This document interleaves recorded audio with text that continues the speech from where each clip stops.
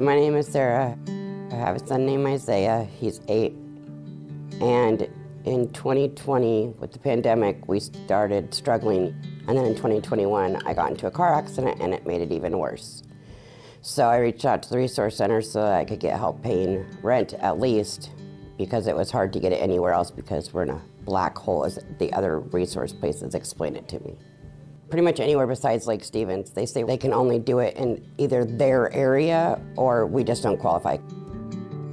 Sarah and her family started coming to us a few years ago when we first opened our doors here in Lake Stevens. And so I met with her and we chatted for a while and you know we were able to help her. Uh, throughout the years, her case manager was transferred to Miss Elizabeth Miller, and now she's been with Elizabeth for about two and a half years. We're all like best friends immediately. They loved my son, they loved me, and it was my new safe place to go. Even without needing resources, I could just go there if I had a crisis. Well, shortly, sometime after 2021, my husband had had a job and we lost our food stamps.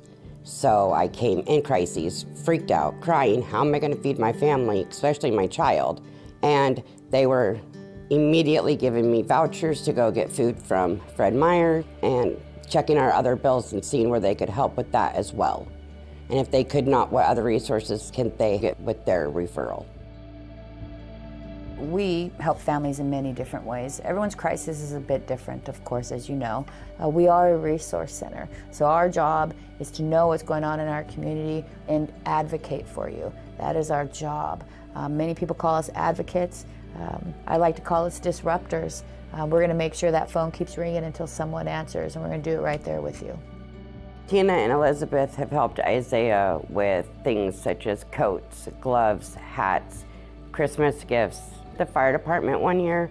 They physically brought him the toys and brought them into the house for us and everything. And now my son wants to be a firefighter or ambulance driver. They've helped with so many things, a brand new bike, you know, just to give him something to be happy about. Because he knows that we're low income. I don't hide that from him. I don't feel it's necessary. So it gives him something to look forward to. It gives him something to be excited about. He absolutely adores Tina and Elizabeth so much. And so it's been really positive for him. He has somewhere also safe to go that he knows that he's got two wonderful ladies that will be there in a heartbeat for him or for me. And that takes a lot of stress off the both of us. Sarah has grown incredibly. She's learned how to advocate for herself. She's learned how to use her voice. She's learned how to be an advocate for her son her son does live with disabilities, and it has been a vicious cycle to help get the services that he needs. If it wasn't for them, we would be homeless right now. We would not have our power on. We would not have Christmas gifts. And I know, as much as it's hard sometimes, I try hard to remember that they are here for us and that if I need something, I can just make a single phone call.